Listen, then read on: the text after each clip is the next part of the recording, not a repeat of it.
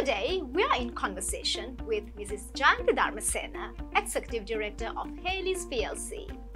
Welcome to the show, Jayanthi. Thank you, Jayani. So, Jayanthi, Sri Lanka for centuries have been an agronomic country and has also pioneered in irrigational systems as well. But however, when you look at the sector, we see that the economic return uh, as well as the return to the workforce remains very low. What are some of the strategic opportunities um, that are present to the sector and what sort of interventions can be there to break this cycle? So, I actually come from an agriculture background because I uh, at Hayleys I represent Hayleys agriculture. So looking at agriculture, yes, we are so blessed that our ancestors, I mean ancient kings, had the foresight to build giant irrigation systems that we are still dependent on. If you if you look at history, we have been so self-sufficient uh, we have had an agroeconomy and we have been self-sufficient in, in, uh, in paddy and we have in fact exported rice. Coming from that background to what we are now, it is quite sad that we have not changed and moved with the times.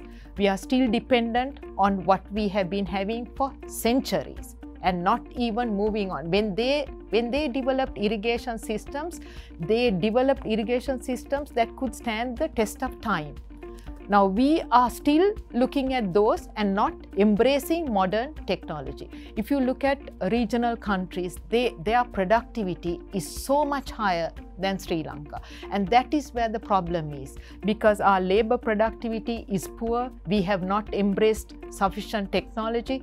And I understand that we have uh, smaller, uh, I mean, the, our lands are fragmented, not as large scale like, you know, regional countries have. And they because when you have larger lands, you get, I mean, bigger economies of scale. But then we should adapt smaller machineries and make sure that mechanization actually takes place so that the productivity does improve then. And that's where our cost of production can go down. So one of the things that we really must do is make make people coming together as cluster farmers so that they can afford the technology. Secondly, that the seed and planting material should be made available for them. That is high performance. It's not most often what do they do? They they produce on their own and it may not be even uh, a variety that is suitable or might not be giving the correct yields but lack of knowledge. So the third point is absolutely everybody must work from a knowledge based commercial agriculture. Right now, the farmers are doing, most of them are doing subsistence farming. And that is just to help them to get the day by. So, commercial agriculture requires good knowledge, uh, a, a digitalized uh, setup where people know what to grow, when to grow. If you notice, uh, Jayani, like suddenly you hear in the papers there's so much a glut of tomato, a glut of pumpkin every time the, the, uh, the produce actually gets wasted because it's excessive production. Remember that there's a subsidized fertilizer component also in there. So the cost is much greater than just the farmer's labor. So we should have, I mean, that's something that we have been talking with the government also. There has to be a crop production schedule because we are blessed with excellent weather. So uh, the sea, um, I mean, throughout a farmer should not be making tomato. We have to decide which farmlands should be making tomato as an example and at which period so that you know throughout the year we have the product not in a glut. So there has to be a cropping calendar. So all those things have to come in with knowledge where the government and the private sector can come together in making these things right. Jayanthi, we often hear that like pandemics also present opportunities as yeah. well. So what sort of opportunities are there for the agricultural sector? And also what can the private sector do in order to ensure um, that we capitalize on these and that ensures higher return to the economy as well as the people who are involved in the sector?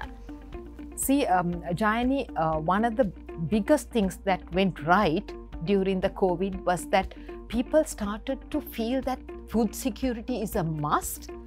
And if you notice like there was such a importance like people used to ask like could we actually even grow something in our backyard and even on a balcony? Because that trust that the government uh, put into agriculture and they had this saubhagya saubhagya uh, the program where they said saubhagya gevatta promoting home gardening so that's the starting point so everybody appreciated look food security is a must. Let's actually go into it.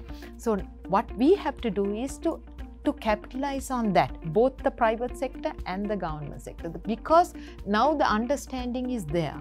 But it's not just to grow something. We must have, uh, we, uh, just like the uh, government sector, even private companies have extension services. Like we have such a whole lot of people in the field. So we must give the correct information so that they don't do something and grow something and then actually move away because if you notice most farmers are so disgruntled and they say look next season we are not going to grow that is because they have everybody has got together and grown the same thing so we have to make sure that the, the this interest that we channel in the right direction both the government and the private sector and also we the private sector has a big responsibility in getting very good seed material and planting material that will give better yields.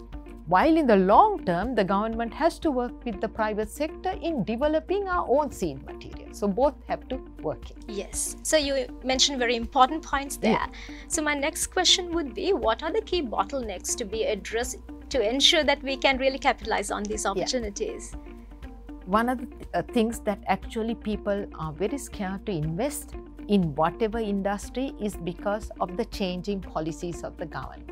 But now that we have been told that the, this government will have the policies consistently for the next five years, I mean, ideally it should be about seven years, but let's say five years, it is excellent.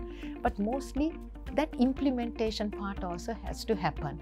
We hear so much about fantastic policies, but when it comes to the implementation, it has fallen short somewhere. Thirdly, technology has to come in. And no small farmer can, I mean, afford all these technologies. So like even where it is possible, the government must have the, have, let's say, a sterilizer, which is a very expensive thing, where the farmers can actually, who are, say, let's say, who are doing, say, tapioca powder, and I mean, if they want to sterilize, they should be able to pay a toll and get that facility from the government they must also the government also must encourage people to use the the proper harvesting techniques because half the time the produce is lost between the harvesting to the transport to the actually going to the end consumer because all that is lost because of the lack of knowledge not having the proper uh, the the technology to do that. So both parties private and public has to work to ensure that the farmers who have put in so much effort actually gets the produce and we don't actually waste that. So technology has to be there, knowledge has to be there and those are things that we have been talking for years. Now it's the time that we really must bring in because we must remember we can't look at the rest of the globe either because they also have their own issues with COVID and they are also threatened with food security. So they will not be ready to give us everything without actually looking after themselves. So it's better for us to look inward and grow, but grow what is what we can grow, but not grow everything. Because some things we can't expect the consumer to pay high prices. So we have to make sure that the cost of production we can keep low by what we can do and do well. So thank you very much for joining us for a very insightful interview on Front Row. So stay tuned with us for very interesting interviews like this in the future.